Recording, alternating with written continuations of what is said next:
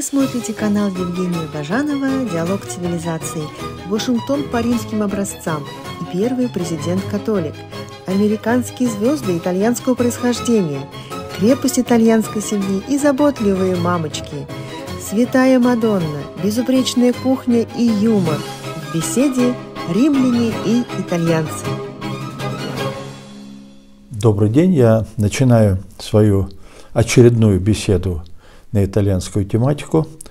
Напомню, что в прошлый раз я рассказывал о том, как мы э, столкнулись с этой итальянской тематикой, с итальянцами, с разговорами об Италии, когда работали в США, в Генеральном консульстве СССР в Сан-Франциско, городе, где очень много итальянцев.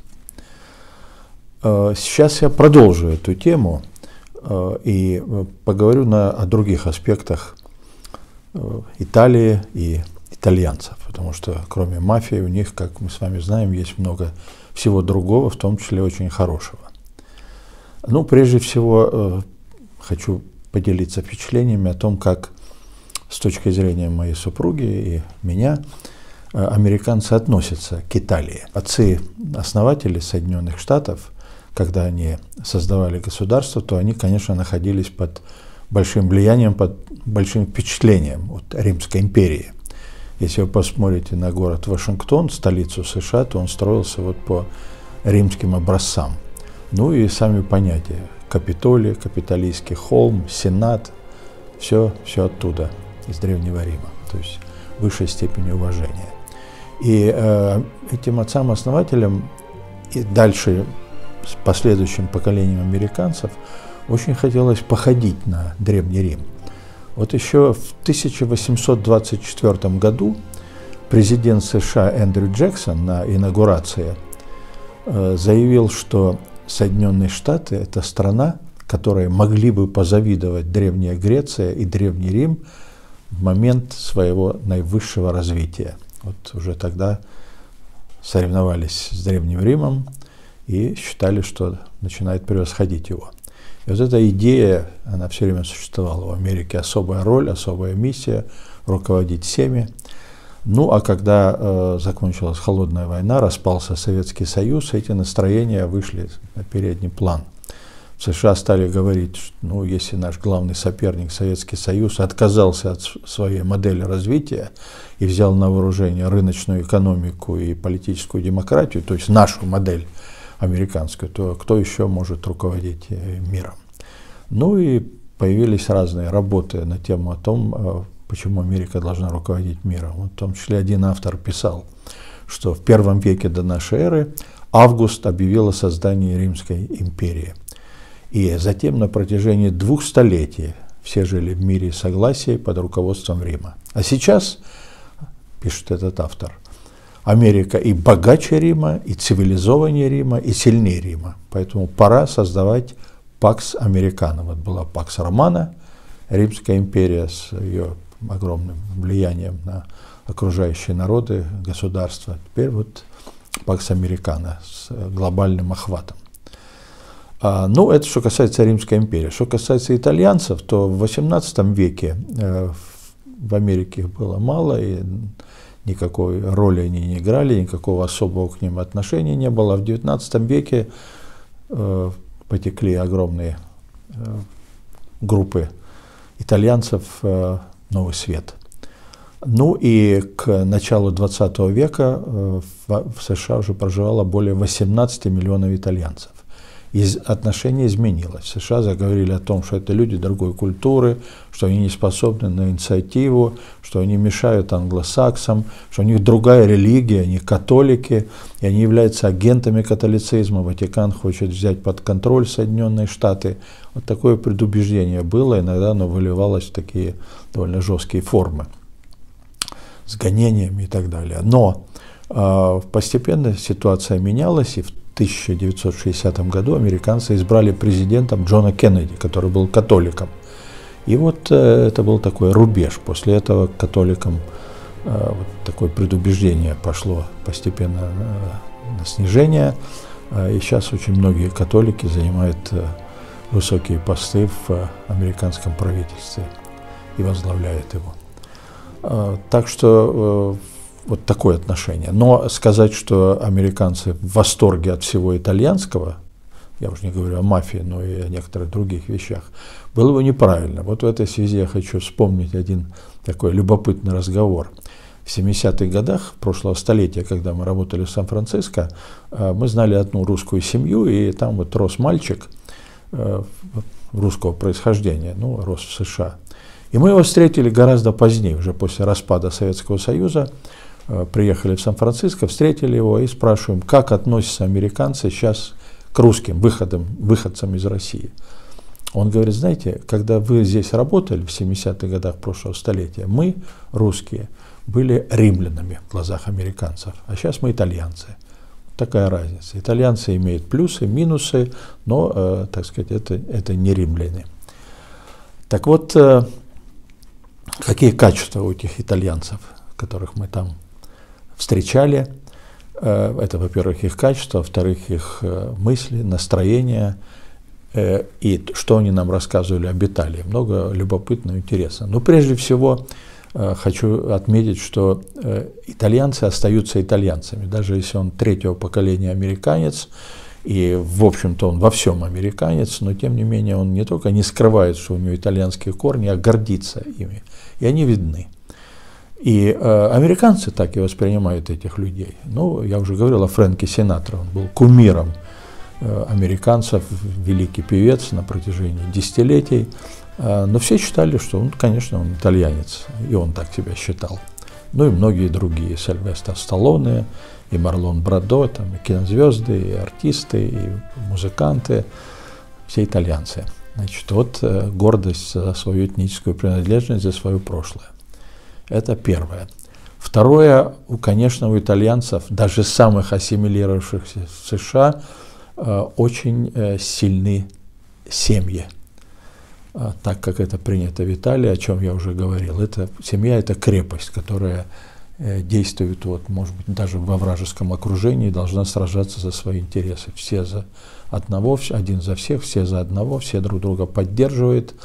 И в этой семье э, всегда отец, это главная фигура, это мачо, такой настоящий мужчина, гордо себя ведет, мелочами не занимается, там они идут по улице с семьей, жена тащит тяжести, дети, он идет такой, извиняюсь, самец.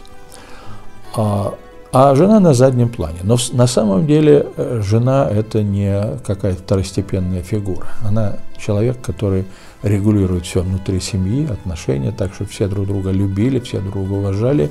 Она обеспечивает всех едой, она обеспечивает э, э, дом, чтобы он и теплый был, и все в нем было комфортно. И женщины очень часто мужчинам помогают в жизни, там, э, э, в самых тяжелых ситуациях. Вот нам итальянцы в США, например, рассказывали такую историю. Э, в 823 году в Милане был арестован граф, который выступал против австрийского владычества. Его отвезли в Австрию, приговорили к смертной казни. Так его жена, графиня, поехала в Австрию, добилась аудиенции у австрийского императора и уговорила его отменить смертную казнь, ее заменили на пожизненное заключение. Она больше никогда своего мужа не видела, он так и просидел всю жизнь в тюрьме, но она его спасла. Бывают э, случаи, когда жены ведут себя не совсем прилично с точки зрения мужчин. Мужчинам все позволяется, в том числе и в итальянских семьях в США. Можно вести такую вольготную, раскованную жизнь, а жена должна сидеть, ни на кого не смотреть, глаз не поднимать, делами заниматься. Но, э, тем не менее, бывают такие случаи, и тоже интересную историю рассказывают о том, как Э, жена э, помогла мужу, вот вроде неправильно себя начала вести, а закончилось тем, что мужу очень повезло в итоге вот такого ее поведения. Речь идет о Рокоссоле, это человек, барон, который жил во Флоренции, как-то он со своей, 19 век со своей женой пошел на прием, она была в таком платье довольно открытом, со всеми танцевала, все, так сказать, за ней ухаживали. В конце концов он пришел в бешенство, схватил ее, посадил кибитку и помчал в горы, в замок, который принадлежал его семье, и в котором они не были лет там 20. Приехали в этот замок, остались на всю жизнь в этом замке, он ее больше никуда не отпускал, сам никуда не уезжал, и стал изобретать новое вино. Смешивал разные сорта винограда и сделал вино. Ракос, Ракосоли. А, и этот район, где замок находился, он называется Кианти. Вот э, появилось вино Кианти, стали соседи выращивать это вино. Э, вино стало знаменитым во всем мире, соседи прославились, все разбогатели, а вот этот сорт барона Рокосоли э, считается одним из самых лучших до сих пор вин вот, марки Кианти. Является фактом и то, что итальянцы обожают Мадонну, женщину обожают настолько, что вот говорят, одна из причин, почему они поссорились с протестантами, заключалась в том, что протестанты недостаточно уважали Мадонну. Итальянцы, можно сказать, любят э, Мадонну, итальянцы, которые в США живут, тоже не меньше, чем Иисуса Христа. И шествие в ее честь, и храмы открываются, праздники, и пусть, конечно, ее имя произносится, и везде ее статуи продаются, ее статуэтки, ее представляющие – а, ну и тоже вот э, нам в США говорили, вот смотрите, у нас э, «мама Мия», эта фраза «моя мама», ее каждые пять минут люди употребляют.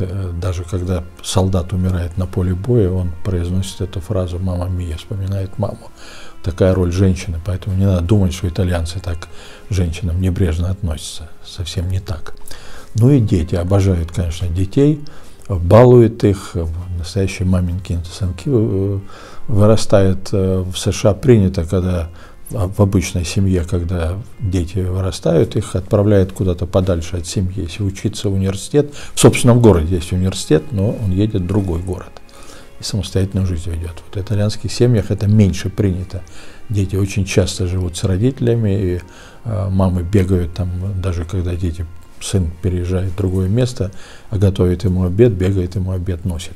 Конечно, э, семьи итальянские в США это не семьи итальянские в Италии, все-таки Америка накладывает свой отпечаток, и, и вообще сейчас времена другие. В Италии тем, семьи начинают понемногу, так сказать, более свободными становиться и даже разрушаться, новая мораль, новая, так сказать, э, линия поведения, все равны, и мужчина, и женщина, ну и известные нам всем вещи. Так вот, э, э, в США это тоже есть. Но тем не менее, итальянская семья – особый институт и в Соединенных Штатах. Э, итальянца сразу узнаешь, даже если он третьего, четвертого поколения. У него совершенно другие манеры, другая жестикуляция, другие движения, другие восклицания. Итальянцы любят, значит, я помню, первый раз мы куда-то с женой пошли, и подходит, значит, там американец какой-то, бизнесмен, и начинает щипать мою жену за лицо. Ой, ее какая, значит, красивая девушка. Я так возмутился, мне объяснили, что это, значит, итальянец. У них так это принято. Вот такие вот э, манеры. Далее, это умение красиво работать, с удовольствием, со смаком. Это просто поражает. Вот официант обслуживает тебя, ну это просто артист, как он красиво это делает, просто завораживает, смотришь, как будто ты на спектакле присутствуешь. Или э, регулировщик стоит в центре Сан-Франциско на центральной площади э, Юнион Сквер, э, регулировщик и танцует, э, какие-то ужимки, какие-то гримасы, какие улыбки. Итальянец по происхождению. Э, вот э, это. И даже вот у нас был зубной врач, я еще о нем позже поговорю, он так все делал, что тоже завораживал. Вот вроде больно, да, все-таки лечит зубы, а боли не чувствуешь, потому что присутствуешь на замечательном спектакле. Такие вот артисты. А, как они умеют уговаривать, э, будучи, вот, выполняя функции по своей профессии. А, например, заходишь в обувной магазин, там, значит, итальянский продавец, итальянец-продавец подскакивает тебе, значит, обувь. А, ты берешь, э, значит, э, ботинок, еще не успел поднести к ноге, а он уже говорит, как он вам идет и как он на вас сидит. Потрясающе. Он еще нигде не сидит и не садится. Пытаешься его, значит, втиснуть, не получается. А этот итальянец стоит и говорит, потрясающе, великолепно. И так во многом. И, то есть э, мастера своего дела.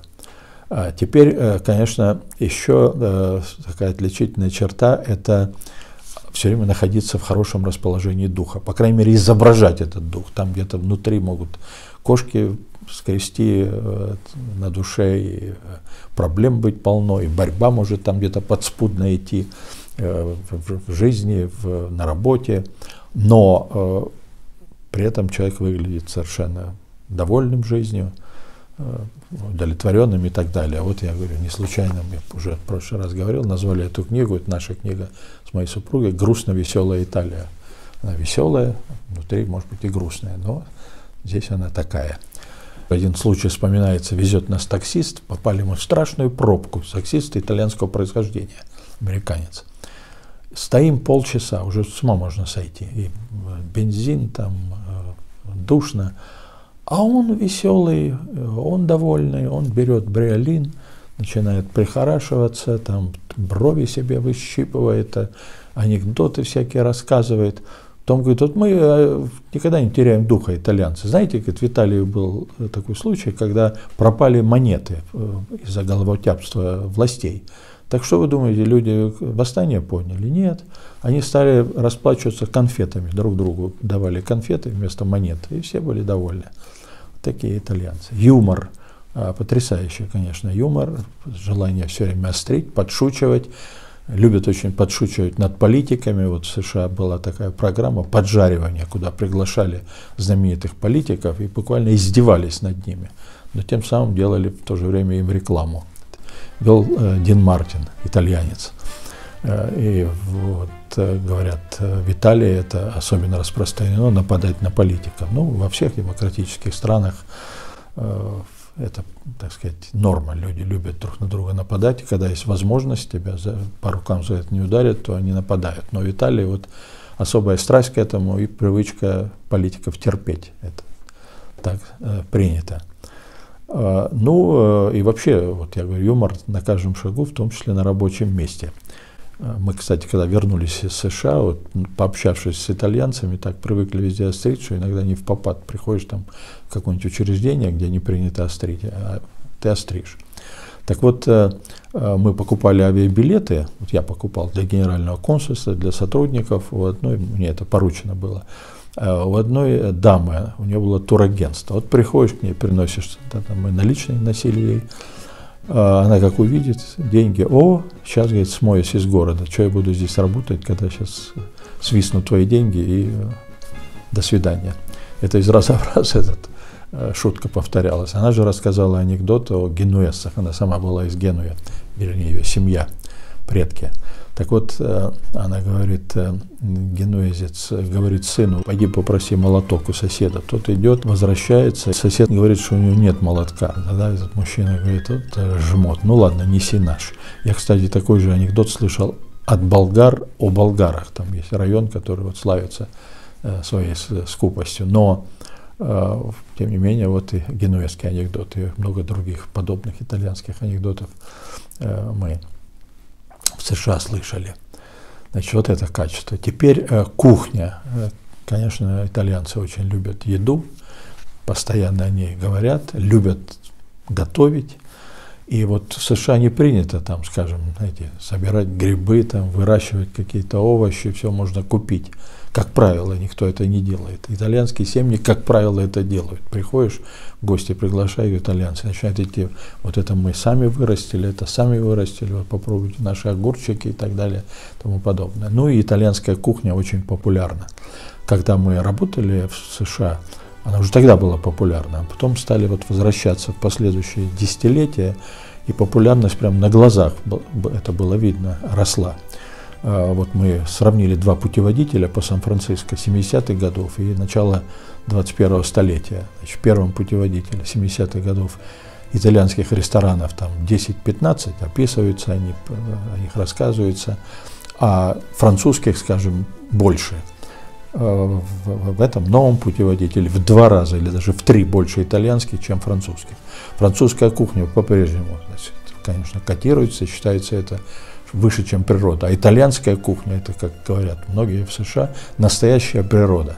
Она такая же красивая, также хорошо пахнет и также вкусна. Почему растет э, популярность этой кухни? Не только совершенствуется мастерство тех, кто там давно живет, но, говорят, стали приезжать итальянцы из и, по крайней мере, открывать рестораны итальянцы из северных районов Италии, центральных, где кухня лучше. Раньше это была основном южная кухня, более бедная, теперь более богатая. Еще что характерно для итальянцев, это они все время критикуют американскую еду, это вообще барахло, чушь, вот надо э, итальянскую есть.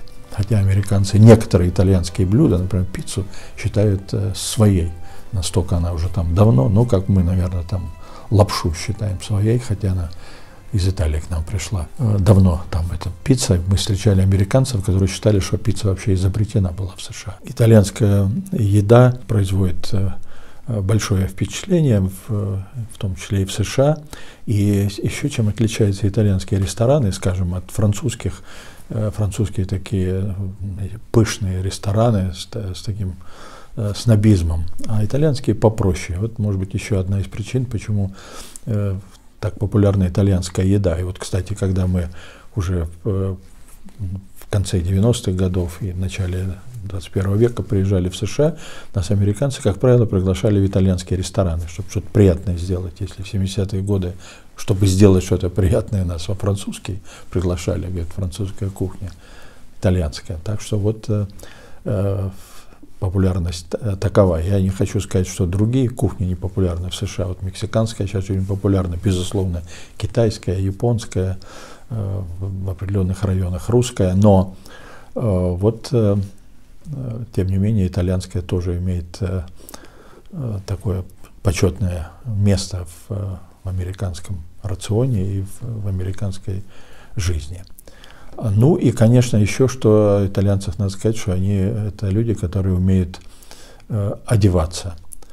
Э, прекрасно всегда одеты, знаете, и полицейский с иголочки одет сразу, можно сказать, наверное, итальянец, и с э, почтальон, и официант, ну кто угодно. И тот же врач, о котором я говорил, зубной, он был всегда с иголочкой одет, хотя был такой пожилой старичок, но я еще о нем потом позже поговорю. А, так вот, э, итальянцы сами осознают, что они хорошо одеваются.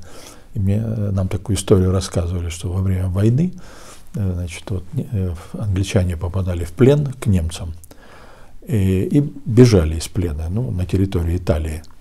Ну, переодевались какие-то гражданские одежды. И нам говорили, что итальянец сразу определял, что это англичанин, потому что так безобразно может одеться только иностранец, и тем более англичанин.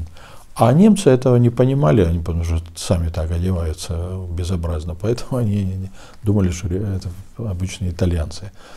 А вот для итальянцев это э, значит, э, доходило. Вот э, такие интересные есть у итальянцев черты. А, ну, я теперь хотел бы поговорить о их идеологии, о политических взглядах, о таком кодекс, кодексе по-итальянски чести, но я сделаю это уже в следующей беседе, чтобы, так сказать, вас на сей раз не утомлять. Спасибо за внимание.